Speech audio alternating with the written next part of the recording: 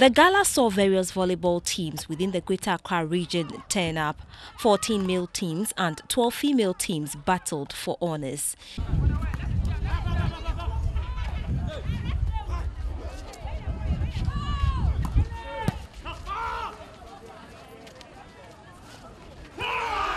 Each pairing saw the teams play for 25 points per set to progress to the next stage of the competition. Most of the teams say the competition was timely.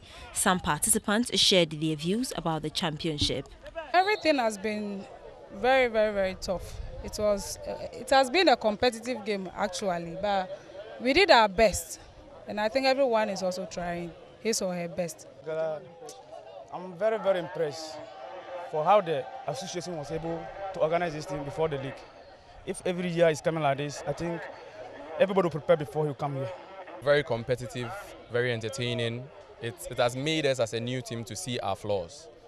Um, we, did, we expected something like this and we've met it, which gives us more room to go and train and improve upon what we have so that we can better place, should I say, pick the, um, the trophy this season. Last year's winners of the volleyball tournament, the Ghana Prison Service, were absent. This served as a tonic for other teams to show their mettle ahead of the volleyball season, which kicks off on the 20th of this month.